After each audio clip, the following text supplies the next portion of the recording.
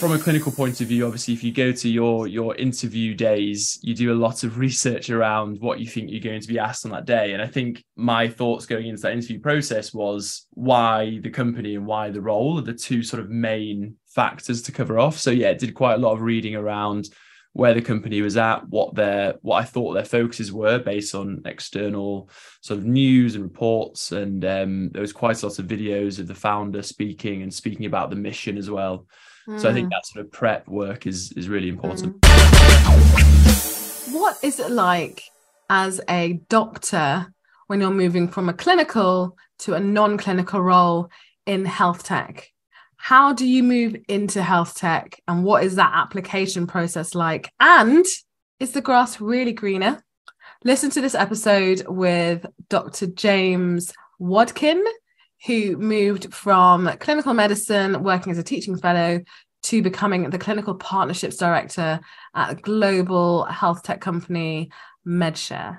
So he gives us some really juicy insider tips on how he prepared for his interview and how he got the job, but also how he got promoted very quickly. And before we get into that episode, do not forget to subscribe. And if you want to know when the next episode is out and be the first to watch it, feel free to go to medicfootprints.org forward slash join our mission and you will be the first to be notified.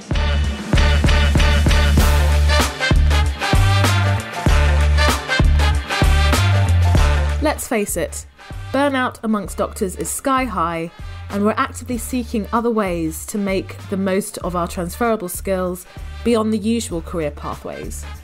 Welcome to Disrupting Doctors' Careers. I'm your host, Dr. Abena Bubbers Jones, and I'm on a mission to connect 1 million doctors across the world with the best in diverse career opportunities. Hello, everybody. Welcome to Disrupting Doctors' Careers podcast. I'm your host, Dr. Abena Bubbers Jones, the founder of Medic Footprints and a career change expeditious expert. I'm trying to think, what am I going to say about that? Anyway, today we have Dr. James Wadkin, who is a clinical partnerships director at the amazing global platform called MedShr, and he'll tell us a little bit more about that. And what we're going to be focusing on today is um, James's journey from doctor clinician, like many of us, that's how he started out, to a non-clinical role in health tech. So health tech, massive sector. As I always like to say, health tech is essentially health.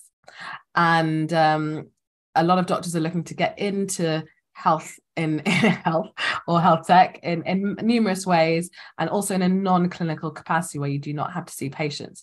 So how do you actually uncover and bag those roles and grow and progress into those roles? So as i mentioned james is a clinical director.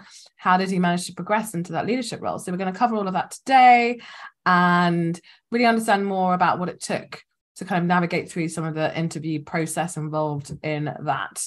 But anyway, welcome, James. Thank you so much for your time today. No problem at all. Thank you for having me. Brilliant. So let's get started with why why health tech, why alternative careers? Why did you start looking for other options? So for, for me, I think it's probably a, it's a different personal journey for everyone who um, sort of looks to um, seek different alternatives outside of sort of the classical medicine pathway. I think for me, it started. So I completed my foundation training and then took a role as a clinical teaching fellow at Imperial College in London. Mm-hmm. Um, and at the time I took that um, teaching role was sort of going into the third wave of the the COVID pandemic. Um, so at that time, we were sort of teaching medical students, but there was a, quite a lot of working from home, having Zoom calls. Um, it was very much a Monday to Friday. Um, it definitely wasn't shift pattern based. Um, and I was doing a lot less clinical work at that time. And I think that's when I really started to sort of explore what other opportunities there are out there. And I think that that sort of year as a teaching fellow really allowed me the space and the time and the awareness that there are routes outside of the the classical training pathways that quite a lot of doctors um, choose to to pursue. um, and that's when I started my exploration really, and and started to look at what alternative paths um, doctors can take outside of the NHS. Awesome. So, uh, like many doctors actually I've spoken to recently, the pandemic kind of triggered something, triggered an opportunity that led to an opportunity that actually led to a journey uh, to something else. So, I mean, that's really fascinating. And uh, I mean, had you before this period, had you ever thought about other options? Yeah, I think when I was doing my foundation training, I was very much um, focused on surgery uh, originally. My portfolio was very much based around surgery, and I, I wanted to pursue that career path and then I had a rotation in general surgery and actually thought that the day-to-day life and what I wanted of, of my own life and, and how I wanted to um, see myself in five, ten years from now probably wasn't aligned with what I was seeing from the seniors that I was working with on a day, day-to-day basis. So I think that was the point where I thought, because originally I was thinking I'm going to finish my foundation training, go straight into specialty training, core surgical, go on from there and I think that was the really sort of the starting point of me thinking, let's try and explore other options and, and see what else is out there. And I think for me, I had quite a, a, long exploratory phase where I was doing a lot of reading around on the internet and sites like Medic Footprints and communities on, on Facebook of clinicians who are exploring alternative careers and just speaking to people as well. So reaching out to people who, who had um, who had were clinicians by background, or even some of the some of my friends who had partners or close friends who were working in other sectors, and really having a conversation with them to see what was their day to day like. Could I do that? Was it going to be interesting to me? Um, and essentially trying to work out is the grass greener. um, I think there's a there's a, a mentality sometimes that working in the NHS is is terrible and the grass is greener. And I think there are pros and cons um, to working in, in alternative careers, but I don't think it's necessarily a, um, a right route for everyone. Yeah, I mean, I'd, I'd love to explore that together with you because obviously both of us have had that experience of alternative careers and that journey, and we've both got different perspectives on it. Yeah, let's break that down mm. a little bit in the sense that, like, grass being greener, um, I reflect on is the grass greener? And actually, I would say yes. I was just thinking, like, would I? Yeah, it is. It is definitely greener, but the grass can also be very many different colors depending yeah. on the season. it yeah. can be dry, it can be really dry, it can be yellow, it can be blue. Yeah. But um yeah, there are pros and cons, but it completely depends on what you're actually doing, right? And and what your life looks like. So so I mean reflecting for you at this point, how would you compare the two, the kind of like the package yeah, I think for me the, the grass is definitely greener, um, but I think it is an individual um, situation. I, I, get quite a lot of doctors or people that I've gone through medical school with who reach out to me and say, "Oh, I can see you're working in health tech now. Can we have a conversation? I'm um, thinking about possible alternative careers." And I, I always say that I think it's an individual circumstance and an individual decision because there are pros and cons, and I think there are differences and some real core differences and there are some things that you can't get away from. So I think in terms of working in medicine, and especially the, the reasons that people go into medicine in the first place, um, quite often are tied to um, their personality, their sense of worth, the reward they get from helping patients on a day-to-day basis, and that that patient interaction. And if they're working hospital medicine, the big team they have around them, and the the team working ethic. Where quite often my experience of hospital medicine is the the team really works together. There's usually a really good spirit, um, and that there are some real positives of that from working in the NHS. I guess in terms of the positives of being on the outside, I think that probably once again depends on what role you're going into and and the specifics of that. I think from my personal point of view, I've really enjoyed coming into more of a, a startup health tech type business and having quite a lot of autonomy. So it's something that I didn't really have in the NHS. You're in a big system, you have um, very restrictive roles.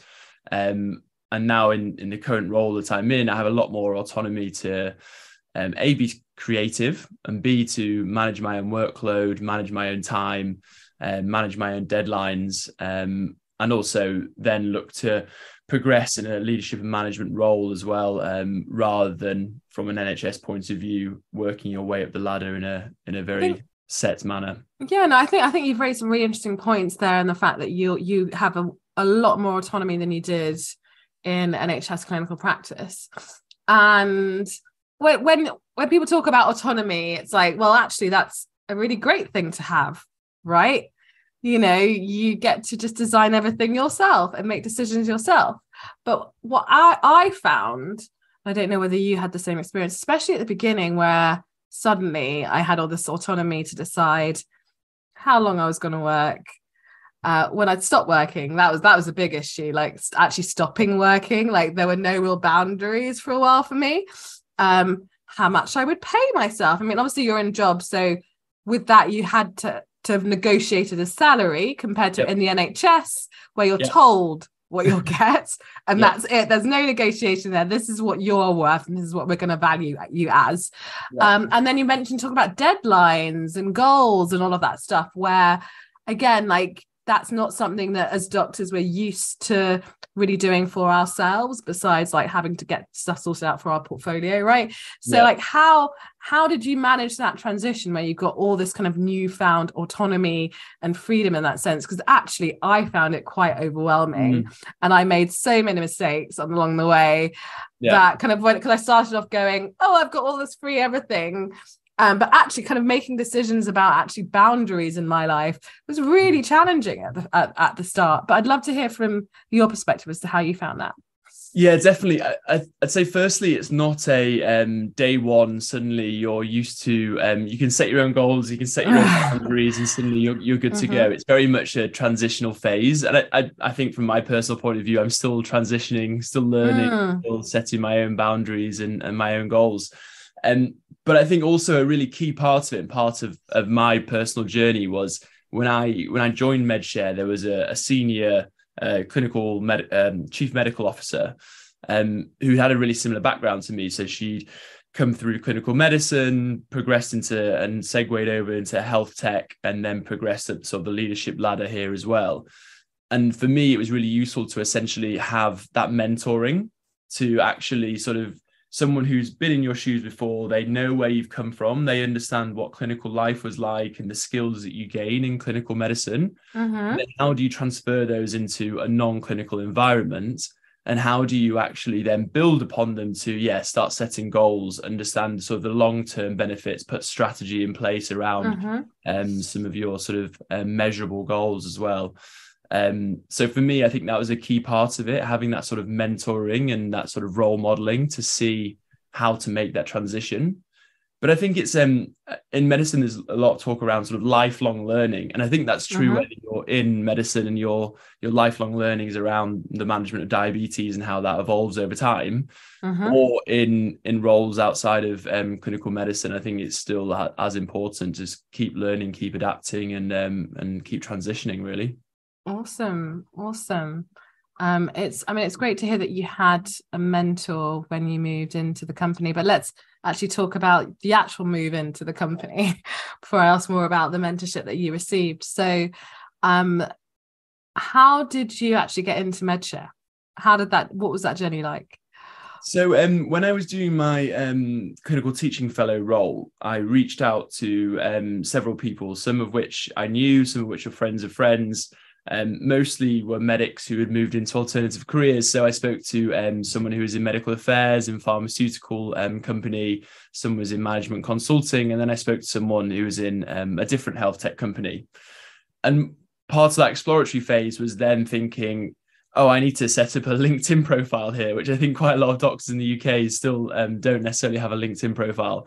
Um, so I set up a LinkedIn and started looking at the jobs on LinkedIn and I, I use that as sort of um, a phase of what can I actually do here with the skills that I have in medicine? What's available across these different alternative careers?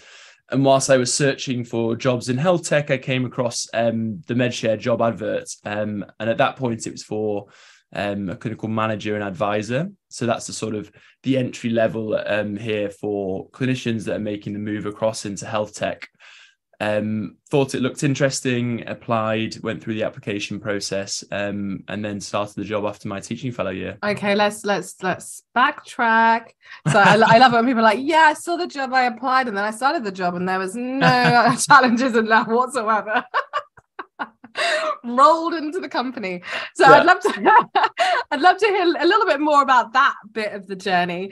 Yeah. Um so tell me more about because I mean a lot of doctors I think one of the biggest challenges for them is identifying a job that they want to actually apply for and that they think they can do but more Yeah. specifically the actual applying right Yeah. so the is my cv good enough like how do i stand out so what kind of things did you do to stand out in your application do you Um, think looking back I think I think a key one, um, and something that I now see when we're we're hiring new doctors now is um, around how you frame your experience and frame why you want to move from a clinical role into, say, a health tech role.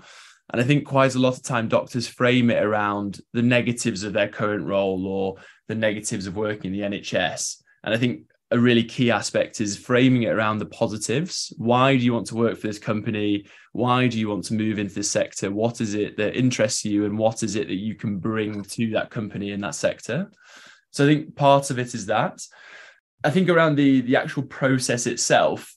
Firstly, I had to go to my CV because my CV was a medical CV, which is sort of nine, 10 pages long and lists every um, sort of poster presentation that I did in medical school and audits and all the rest, and really just slim that down to just sort of a what I'd call sort of a normal CV where it's two sides at most. Um, so that was sort of step number one. Um, and then applying for roles, I think from my point of view, I have an attitude of um, I was applying for quite a few different roles with the attitude of if they turn me down, there's no interview, then I'm in the same position as I was before I applied to those roles. So I sent my application, sort of covering letter and CV to quite a few different jobs that were available on LinkedIn. And then in terms of MedShr, they then um, offered me sort of a first round interview um, and then progressed to a second round interview with their senior team.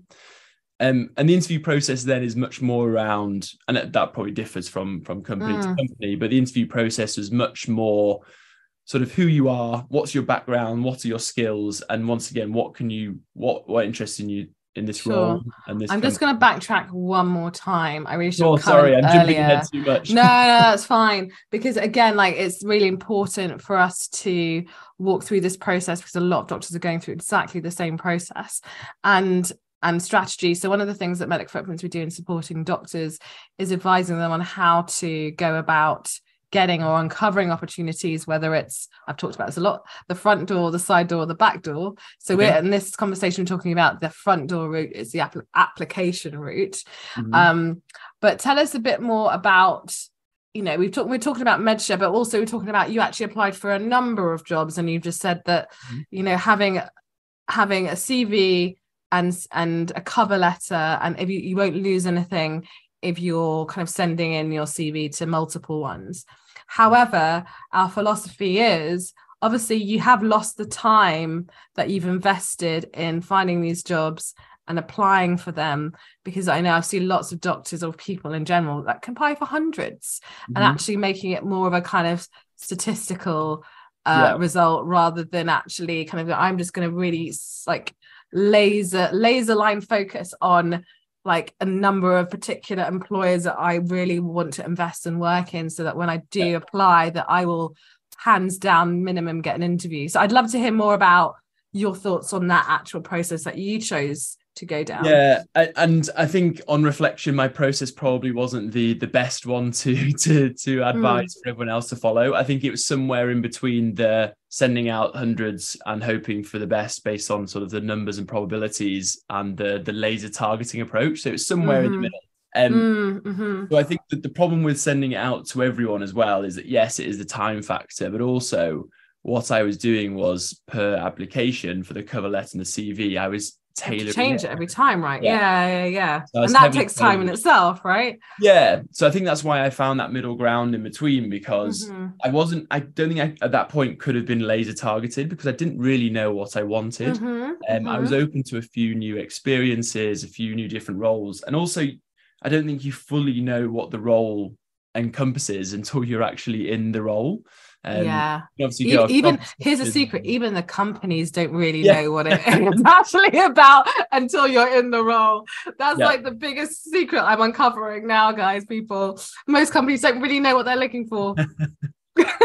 yeah, that, we managed to get a job description down, but it is it's like a kind of this is what we think we know. And then it also depends on the people that are coming in because they help shape that role, right? But we'll get to that. So we're talking about the interview.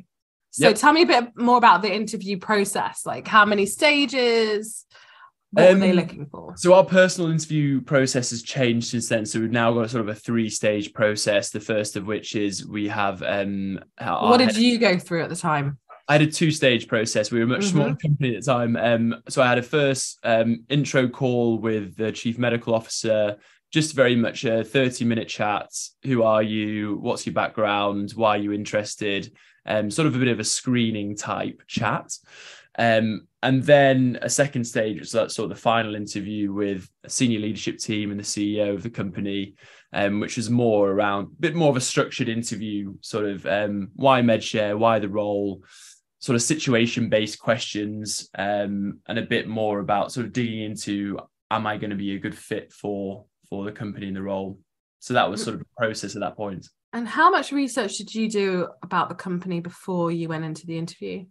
Uh, quite a lot. I think I think that's mm-hmm. quite important. I think it's um, from a clinical point of view. Obviously, if you go to your your interview days, you do a lot of research around what you think you're going to be asked on that day. And I think my thoughts going into that interview process was why the company and why the role are the two sort of main factors to cover off. So yeah, did quite a lot of reading around where the company was at, what their what I thought their focuses were based on external sort of news and reports, and um, there was quite a lot of videos of the founder speaking and speaking about the mission as well. Mm. So I think hmm. that sort of prep work is is really important. Mm. And how did that actually translate to the interview itself? Like how how was that prep work important? How did that manifest for you? It just meant that when when the questions of why MedShr and why this role came up, mm-hmm, I could mm-hmm one on one hand reflect that I'd done my research, I knew what the company was doing, and I knew why um, I wanted to work in this company and work at this role. But I could also weave in what's my experience, what are my skills, and what can I bring to that role and bring to the company to help them on their mission to to make this role really useful for them um, for the company. Mm-hmm. Mm-hmm. So it's sort of both aspects of that. Right. And how was that received?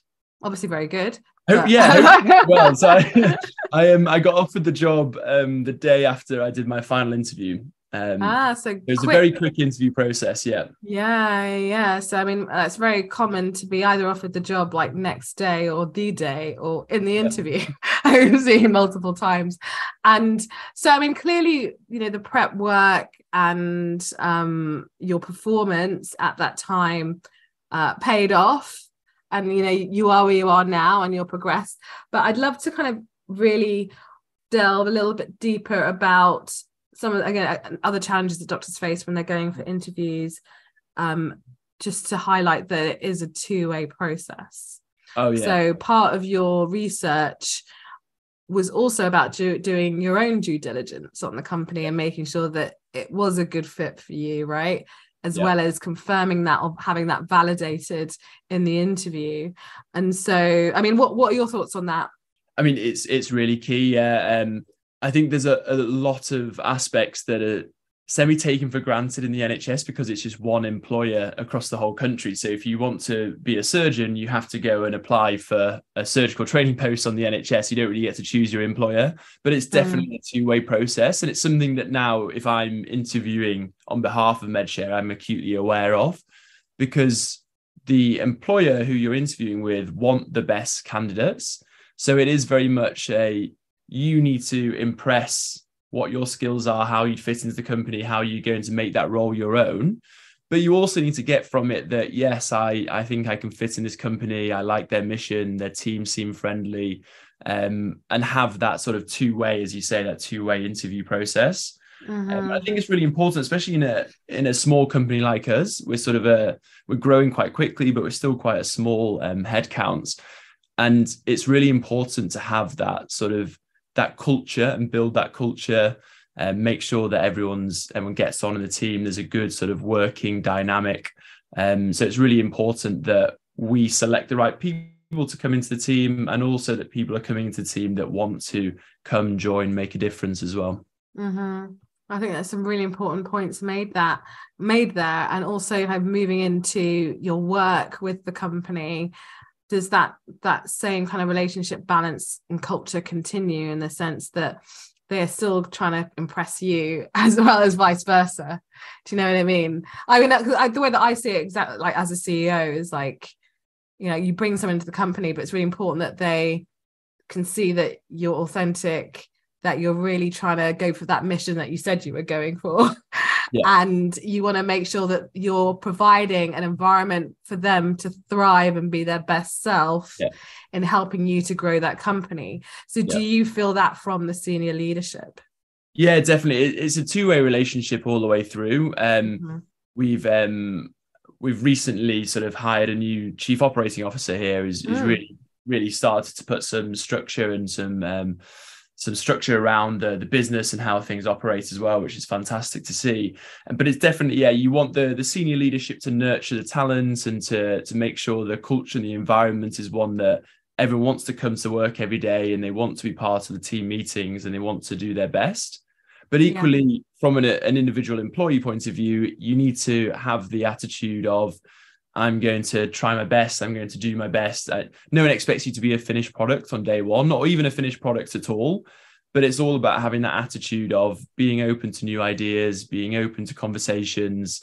Um, when you're asked to do tasks and do things by certain deadlines, being conscientious, communicating clearly, making sure that if you're not going to meet deadlines, then people are aware um, if you have any problems that you tell people, if you're finding things too easy and you want to push yourself a little bit further or or try different aspects of the role, different projects, then um, having that clear communication as well.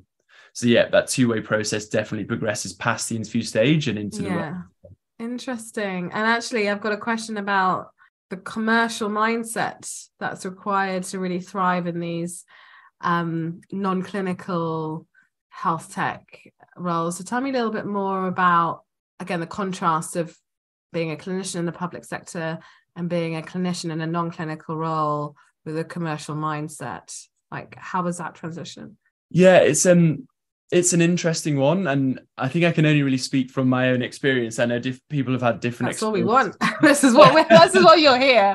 We only want you speaking for you, FYI. Yeah. so I um, I think I've been I was been interested in that for a little while. So I've done quite mm. a lot of reading around it whilst I was applying for the role, and then joining in MedShr, and then um, sort of progressing at more of the commercial aspects here. It, it's definitely something that um, a clinician coming straight from the NHS needs to build that awareness because it's just something you're not exposed to on a day-to-day basis in the NHS. Um, you're looking after your patients. You you can do your audits and your research projects and um, your ward rounds and and be fantastic at all of that aspect. Um, but the commercial aspect is yeah, it's a very different sort of scenario to be in. And I guess it's difficult for me to sort of contextualize um, what what it is that you need to know. I don't think there's anything in particular what you need to know. I think it's just having the awareness that you need to get to grips with working in a private company that's trying to generate revenue and how do they get to that point and how are you leveraging your clinical knowledge to allow them to get to that point either through um, a direct mechanism or an indirect mechanism and i think part of it is um, at MedShr in, in particular part of it is le- leveraging your clinical knowledge to um, understand, and when we're talking to pharmaceutical companies, how their drug works, how then that affects pathophysiology, what their target audience might be, um, but also the aspects around how do doctors think? How does uh, the usual care pathways work? If someone's dealing with a breast cancer, what's the MDT that's going to be around that um, that patient as well, and understanding how care pathways work through the NHS and how that might differ in um, different countries as well so that, so there's those different aspects but i think it's it's quite hard for me to contextualize the sort of key commercial knowledge that you need to to learn coming into a commercial role really. Yeah i mean like obviously it can vary and i think some of the feedback that we've we've gotten from not only the doctor side but the clients that we work with or the companies that we work with as we work as a specialist doctor recruitment partner is that it's really important for doctors to have that like clinico commercial awareness that like mm. you are a business like you like bringing you as an individual or doctor into the business is actually an investment that they're expecting to get a return on the investment which they will get because you're a doctor right? They will get that. But it's it's about just realizing this is about business it's a business it's about money. This is where you know there's there's no kind of smoke screen here. Businesses exist because they're there to make money. And it's like how can you help us you know achieve our mission but also make money because yeah. without the money we can't we can't achieve our mission yeah. you know the greater goal um yeah. and so it's like you know the way that you are thinking and any any suggestions or recommendations or any activities that you do all points to one direction which is the money and the strategy and the, and the mission and vision yeah. Um, and the board or the senior team won't necessarily get behind it if it won't eventually lead to money yeah um so it's like yeah, putting yeah, it in that, a nutshell. This is what they're looking that, that is the fundamental truth of it. Yeah, and I think that's yeah. a fundamental um, change of mindset from from working in clinical medicine. Um, because mm-hmm. the fundamental mindset in clinical medicine is sort of you go and you help your patients and you try and make them better. And also, it's quite um, especially the, when you're more junior. I think it probably changes if you um, get more senior, but it's a very sort of short term mindset. So you mm-hmm. come in, you do your work, and then you go home. And then you come in, you see your patients, and you go home. And mm-hmm. there's very little long term strategy, long term goals, long term mission objectives as well. Um, so that's, I guess, a, a bit of a shift in the fundamental mindset there as well. Yeah. And so the final point I really want to cover in this discussion is your promotion to clinical partnerships director. How long did that take from when you first joined the company to when um, you actually were promoted? It was a year, so it's quite quick. so not, I mean, actually, I mean, I've seen quicker, I've seen months, but not to say that you haven't done well. You've done remarkably well, but I'm just saying it's not uncommon yeah. for doctors to go into the private sector and soar right? So just imagine, guys, who's whoever's listening, you are a junior doctor and then you're promoted to a consultant within like a few months. Like it's kind, of, it's kind of the equivalent, right? And he's suddenly or, got or senior this... registrar, I should say, senior registrar, well, senior registrar, but actually consultant. and, with the, and and sometimes with the pay that goes with it as well. Like you know, seven years in one year, right? So tell me more about what led to that and like why why you were promoted. That's an interesting question. I'll have to, I'll have to ask. Did you not get um, the feedback in like any kind of a? Yeah, no. This is yeah. why we're giving this to you. It's like, no, James. you definitely, you definitely do. Um, I think there's several aspects. I think there's one of the fundamental reasons reasons why I want to leave the NHS. Actually, I was a bit um, disenfranchised with the way that you get on a training program and everyone plods up the ladder at the same rates, irrespective of whether you're the best anaesthetist or doctor or, or surgeon or you're the worst um, if you're on that ladder you plod your way up and you get your band of pay and there's no sort of um, added incentive really to go out there and do anything um, anything above and beyond. So i think i came into the role with a mindset of I, I want to learn first and foremost and learn as much as i can um, but do so in a way where i'm trying to provide value. So i think it comes back to your fundamentals of you've been employed that's an investment um, how are you providing that return on investment? And part of that for me was more of my interest in the commercial aspect of the business. So i came in as a clinical manager. I was very much uh, more involved in sort of the medical strategy and the clinical aspects of the business. Um, but then sort of shifted my focus more across to the commercial aspects and then had essentially direct revenue against me um, and direct return investment that I could then show. And um, it, it, then became sort of a, a position where I How did that work, James? What do you mean direct revenue against you? What did that look like exactly? It's hard to explain it succinctly, but um, essentially, um, I'm now part of the team that generates deals that come in to to provide mm-hmm. revenue for the company. Mm-hmm. Uh, and you were able to do that in your previous role as well. Yeah, so as, when you come in the clinical team here, you sort of sit across all aspects because um, the commercial team need clinical expertise, and so do the sort of the community aspects as well. Um, but I think one of the benefits of being in a, in a startup type environment rather than a larger company is there's a lot more flexibility to go and explore different projects, be involved in different aspects, and and what, how it works here is if you find something you're interested in that you're good at, you can then carry on down that path. Mm-hmm, so that's what mm-hmm. I did. Um, and then the sort of return investment and the value against you sort of increases. And that's um, how I essentially progressed and got promoted. Awesome. And con- again, congratulations. It, it really is an amazing achievement. And it's really great to see someone like yourself progress in a doctor led, doctor founded company. I'm always excited about those kind of companies. And so, one final question that I know we didn't cover and that a lot of doctors are also worried about. Again, going back to the big M word, money. Um, so when it came to like being given a job offer, um, how again how did you negotiate your salary and generally how does it compare to your salary as a junior doctor so doctors kind of know what to expect in that whole process yeah and um, once again i can only really talk about my own experience but um so i when i took this role i was very much an NHS doctor and I didn't even think to negotiate my starting salary. I didn't even think that was a possibility. Mm-hmm which sounds ridiculous, but I think that is the mindset you sort of get an offer in the NHS and you take that and you move on. Yeah. Um, so my starting salary when I came across was aligned with NHS pay bands. So yeah. I finished as sort of my teaching fellow role at sort of F3 sort of level. So they aligned it with sort of CT1, CT2 type level. And that was for the first six months, um, then passed my probation period and then had a pay review. And then things started escalating from there. Um, and then it becomes based on what what is the value you provide into the business. Do they want to reward you and keep you? And it and it in a founder led small business like this, it's directly related to what is the value you are you are producing, um, and how can we reward you for that? And your reward is directly linked to your pay packet, essentially, which is another mindset shift, I guess, from the NHS.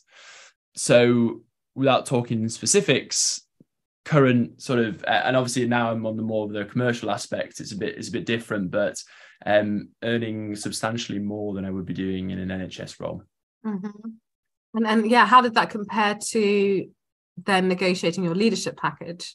Yeah so that um it, it all rolls into one. Um so it, it was kind of like you're you're progressing you're getting promoted you take more leadership and more responsibility with that and then that's mm-hmm. reflected in the the salary and the compensation as well um mm-hmm. so it's not um it's not something for nothing it's definitely you have to you have to work for it and then you have the responsibility and accountability for that yeah um, whatever that might be so now I, I have a leadership position i've got management responsibilities i've got um responsibilities across the work i do and the goals i have to hit um, yeah and that that then is reflected in your compensation.